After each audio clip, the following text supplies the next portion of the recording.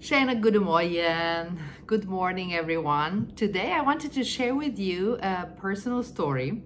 Uh, it's about a book that I published in 2020. It's called uh, Our Magic Journey on Earth, a book of kindness, friendship, and respect.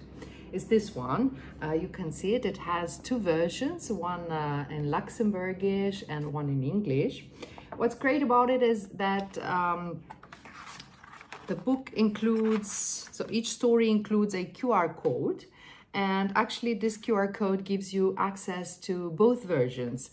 Um, English and um, Luxembourgish and also uh, so not just the, the text but also the audio files. So it's really great if you want your uh, child to listen to to some Luxembourgish texts while you're cooking or um, yeah or you're doing something else.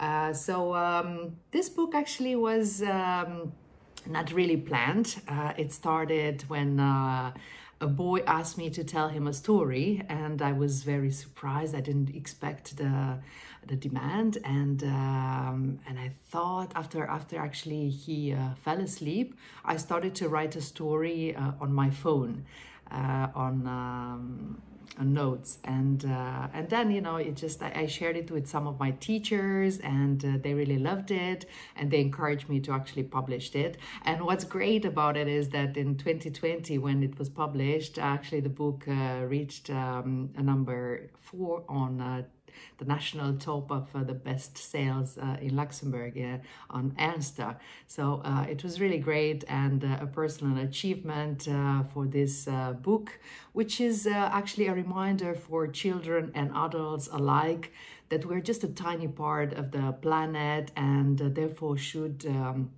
treat it with utmost respect and care.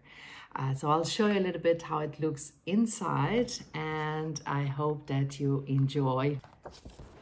My book of short stories is ideal for children aged um, 5 to 9 or 10 years old.